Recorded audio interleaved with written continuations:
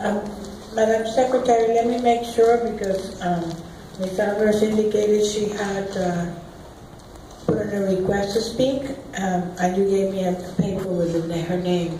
So everything is in order for, Through the chair, yes. okay, Ms. Alvarez. Well, actually, before you start uh, running my time, I do want to request. I 10 haven't started your time, no, so, no. yeah. I want to request 10 minutes, please. Well- Only because I have nine teachers who would have liked to have been here, but as Ms. Alvarez pointed out earlier, they're at open house. So I think, Well, I think I the need a vote, I need a vote for that. Mr. Harvey, I need a vote for that? Yes, Madam Chair. The policy permits a speaker who signed up at public hearing to speak for three minutes to exceed that amount that would require a vote of the board. Well, And and the maximum is 10 minutes. Uh, Ms. Alvarez indicated that she has letters from teachers, but still the teachers are not here for obvious reason, as she explained. If they were here, but, but any, anyway, I'm going to ask for a vote. Through the chair, for her to exceed the three minutes, that will require a vote vote of the board, yes. So if the board would like to do that? All those in favor say aye, opposed say nay. Ms. Alvarez? and before you start, I do have another um, question that maybe I think should be addressed. Last time I was here, I, I mentioned a name, and you told me that I was precluded from mentioning names. Right, and you still are. Uh, why is that, if I may ask? If this is in fact a public hearing, I should have the right Mr. to address Attorney, would you please- specifics. Yes, through the chair, the uh, the quorum policy of the board uh, prohibits the use of names. Um, You can speak uh, generally about persons, Uh, you can address the assembly as a whole, but specific names, So why the restriction on freedom of speech, mentioning names? This is a public forum. I believe that I do have a First Amendment right. yes. Uh, Just through the chair, I mean, would you like for me to respond, Madam? Yes, I think you're the attorney and the Yes. parliamentarian, I would really would expect you to respond. Yes, through the chair, uh, the decorum rules have been what they are for, for quite some time. Um, It is typical on- in legislative assemblies like this to have rules where um, names and addressing people directly by name is prohibited. However, addressing the assembly as a whole or addressing individuals through their title and so forth is is certainly permitted. And that would not inhibit your speech in any way. It- It's a time, place, and manner uh, restriction. So, um, So I could mention representatives' names, for instance. Would I be able to do that? Yes, uh, well, through the chair, I mean, I I don't know what the content of your speech is.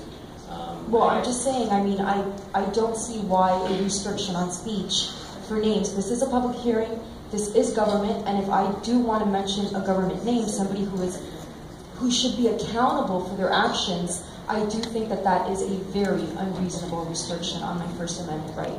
And I do believe that the U.S. Constitution trumps decorum. So, why don't you start? Yeah. Well, I just, I just want to know what the boundaries are, and last time I, I, Yes. you know, Yes. I gave way to you, but then I left here thinking, and I was scratching my head, and I'm like, that just didn't, it doesn't seem to, I understand, but Makes sense. have explained and I'm, you know, I'm very that- passionate, and I, I don't believe it should curtail freedom of speech. Are we going, to- we just voted for ten minutes? Yes, and I, I, I am grateful, I would have liked to have known I was gonna in fact get the ten minutes, I I'm would have sorry? uh, prepared for a ten-minute speech. But I will fill in from things that have been said today, um, at this meeting, so I'm ready to start. So then the clock can start now. Okay, great. I don't see 10 minutes though. Don't worry about it. I I tell you that it will be ten minutes. You have to trust the clerk. If it's ten minutes, it's ten minutes. Trust. I like that word. Okay, thank you. And by the way, thank you for giving me the 10 minutes. I do appreciate it. As I did start last time, I'm going to start again with one of my favorite quotes. In a time of universal deceit, telling the truth is a revolutionary act. George Orwell. I will address two main issues today, which do have legal ramifications. One of them is class size, and the other one is salaries.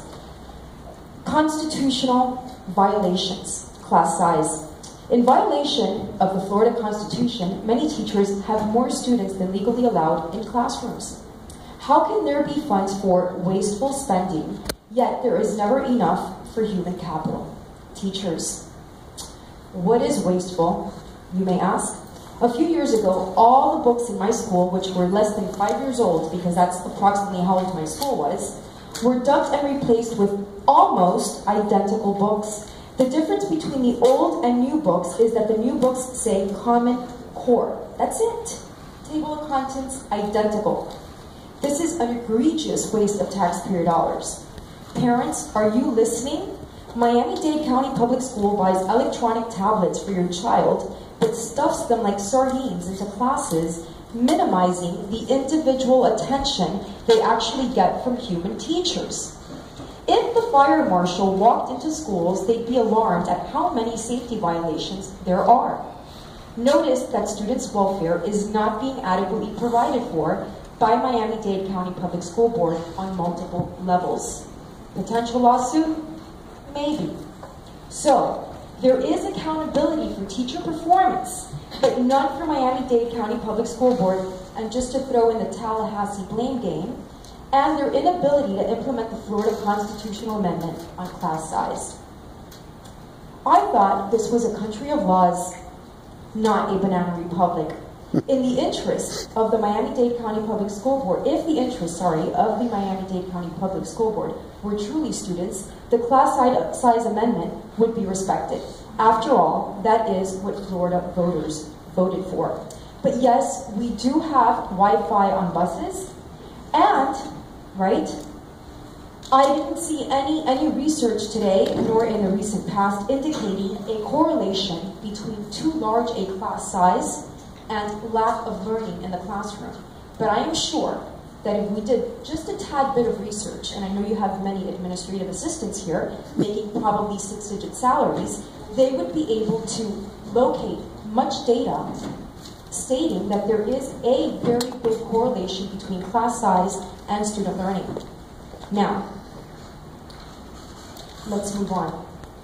Statutory violations, salaries. You cannot contract out of something that is required by law. And I'm sure your attorney here will be more than happy to tell you that you cannot, and I'm going to stress, contract out of something that is legally required. Okay? It's not possible. It is irrelevant that teachers, many of them ignorant of the Florida statutory requirements, allegedly, emphasis added, voted yes on the contract. Florida statute provides that district school boards shall adopt a grandfathered salary schedule for paying all school employees hired before July 1st, 2014, and that teachers on a professional service contract may opt into the performance salary schedule if the teacher agrees to be on annual contract. The contract that was, and again, allegedly voted into being, does not honor the grandfathered pay scale, which was adopted in October 2013. And there's stuff on the internet, media, alluding to that. I mean, it, it documents it. UTD lied when it stated that, and I quote, if we maintain the step schedule, we would be out of compliance with the law. Because in fact, it is the opposite, which is true. The strategies employed to conquer and divide teachers are repulsive, not to mention inequitable. The Herald recently pointed out, and not in today's article, but the one that was uh, published, I believe, at the end of August. The Herald recently pointed out that Miami-Dade County Public School employees were getting salary increases. Notice how the word raises was not employed. That is because all teachers will get a percentage increase, but yet, for the majority of the teachers, that increase will not represent a raise since the percentage increase does not even break even with inflation. What is the result? Most teachers are in fact getting a pay cut. Again, yes, pay cuts. That is what we get for all of the SAT, AACT, all of that wonderful stuff, all the banners, right? Dog and pony shows. Yes, we get pay cuts. And mind you, I do want to uh, emphasize that MAST did, they all voted no for this contract. So those stellar teachers who are getting you stellar results voted no for the contract because they can do the math. So, what is the purpose of UTD if they truly, if they do not truly protect their members and instead deceive teachers by telling them that there is, there is not enough money when in fact there is? It's a rhetorical question, I know. There is no point. And besides, UTD blames everything on Tallahassee, right? Which begs the question, why have a school board, right? If nothing rests with anything local, be it the school board or the union, why not free up all these funds and pay the backbone of the school system? Now, another lawsuit? Statutory violations? Perhaps. Now, um, earlier, or not earlier this week, I should say last week, I did email Mr. Carvalho, Luis Diaz, and Sally Alion. And I want to thank you for failing to answer my email um, dated September 2nd, wherein I attached a letter dated September 2nd. Okay, um, now, I was a little bit surprised that my letter went unanswered because one time when I did come to the school board, I was told by Mr. Carvalho that I could email him. But I did, I do remember telling him, even though the mic didn't catch it, that I, that I told him I did not, yes. I'm sorry, I don't want to interrupt you, indicated, that no names were permitted? Yes, yes. Superintendent. Superintendent, Oh, superintendent, yes. That's always a risk, because I know a lady got, you know, smashed for having Oh, That's fine, we will take said that word. In any event, so yes, yes, he was supposed to email me back, but he didn't, and one time he did invite me to email with him, and I did decline because I, I guess I kind of predicted that that would be the end result. As for Mr. Diaz and Miss Sally Allion, they never contacted me. However, they did call me back in April of 2015 when I was going to be present at the school board meeting that time to see if there was anything they could do to help me. Mind you, they did contact other teachers who were intimidated by these phone calls and they opted to not come to the school board. And I do want to say that there are many teachers, many teachers who have very low morale, okay? Um, they're disgusted and repulsed with this new contract. And the tallies that we have been making and keeping of the schools um, that obviously voted have the no's have far outweighed the yeses. So where UTD is getting their data surprises me. But there, there is a lawsuit, right, about the previous election, if I'm not mistaken, and it took four years for them to be able to get uh, the ballots and all that stuff. So perhaps I guess they think that they're buying time. But I would love, I would really love to be able to audit this contract vote. Why? Because again, I do not know a single teacher who would have ever voted yes or who even said she was voting yes. Everybody that I know and that I've spoken to and that my colleagues have spoken to have said that in fact they were voting no. So we have major suspicions. And again, you talk about all the accolades, you talk about all the wonderful stuff, but if you guys really went out to the trenches, right? And I'm not talking about the stuff that you guys put on your newsletters, which is all smiley and lovey-dovey and warm and fuzzy. It's not really all that. I know you want it to make it look like it's that way, and you know what? If I'd be on the other side, I would probably be wanting to make it look like that as well. But the truth is, that's not what it's like. Take a visit to my school. Talk to the teachers. Where when I was trying to tell them to vote no, they were like, Miss Alvarez, you don't have to tell us to vote no. We're going to vote no because we know that this contract is not good for us. And even today, one of them said, You look so pretty. I don't normally go dressed like this to work. Where are you going? She said. I said, I'm going to the school board.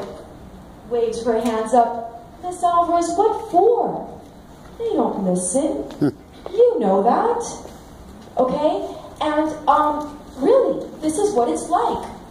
Perhaps I'm going to get these looks and, oh wow, this lady, you know, she's so negative. But please, don't mistake me for being negative. It's not me who's negative. It's the sentiment of the teachers which is negative. And it's a reflection of the way, the negative way. And there's a nice chart on a blog called Miami Educator, which will show you just how negative it is.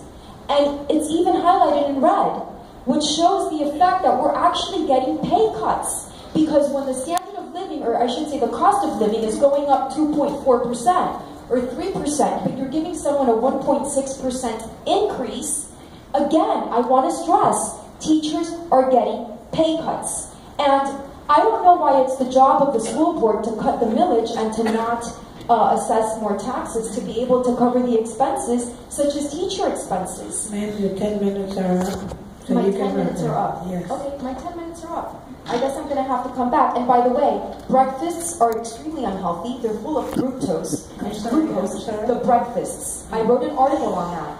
The students throw out the breakfasts. But yet again, the banners. I love the banners. Okay, you must, you guys must have stocks in the banner companies. Okay, because they all say healthy. But I can tell you, I do cafeteria duty. The breakfasts, parents, they are so unhealthy. I know, just so many things. And and teachers hate technology in the classroom. It's it's a big time killer. Really, you guys really should go really visit the classes. I'm- I'm sure we will. Yeah, yeah. Um, Disaster. Thank you very much, Ms. Alvarez. Um, I Sad. think it's six, To say something, not,